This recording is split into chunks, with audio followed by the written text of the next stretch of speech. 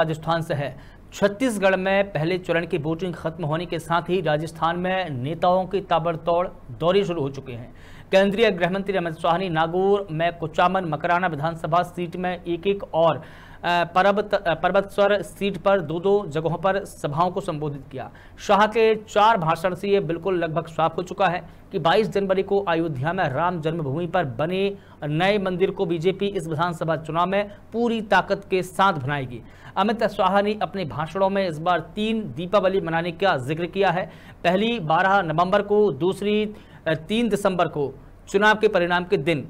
और तीसरी 22 जनवरी को राम मंदिर की प्राण प्रतिष्ठा के दिन, यानी कि ये तीन दिन का अमित शाह ने अपने भाषण में ज़िक्र किया है। इसके साथ ही राजस्थान में चर्चित लाल डायरी प्रकरण को गहलोत सरकार के भ्रष्टाचार से जोड़कर उन्होंने साफ़ कर दिया है कि वे इस मुद्दे को कांग्रेस सरकार को घेरते रहेंगे।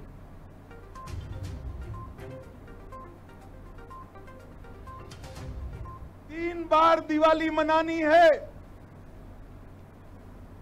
अरे भाई, ताली बजाते हो, पूछते नहीं हो।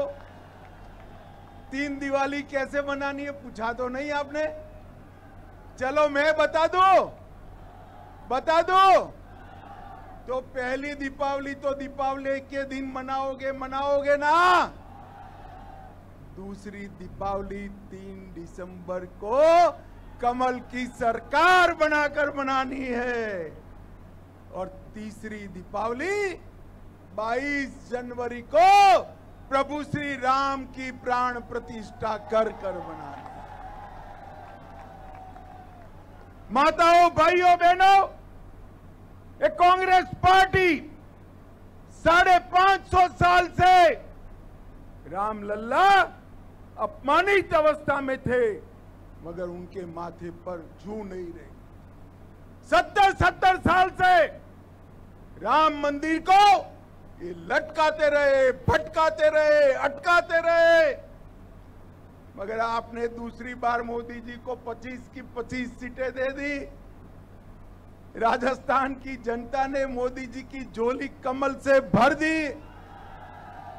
मोदी जी दूसरी बार प्रधानमंत्री बने और मोदी जी ने चुपचाप इसका भूमि पूजन कर दिया।